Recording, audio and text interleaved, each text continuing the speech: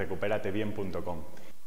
Le pediremos al paciente que mantenga esa posición neutra de la espalda, que lleve las manos bajo la cabeza sin meter presión y le diremos que vaya a mirar hacia un punto fijo manteniendo el mentón bien metido y levantaremos un poquito el tronco sin haber aplastamiento en la zona lumbar. No debe haber aplastamiento en la zona lumbar.